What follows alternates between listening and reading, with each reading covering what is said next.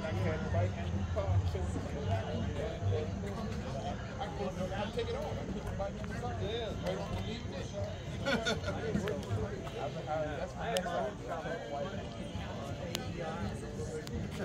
I'm a man. I just I just love I love working with my hands. I love Wayne bought me out.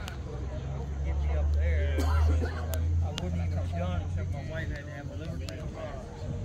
So I went, I went to work for him, and two years later, we found out she had to have the transplant. And um, I worked up there at nighttime, so the family could take care of her at nighttime. I stayed home, took care of her during the day. And that was 20, 20 Basically, he bought her all the stuff in my shop.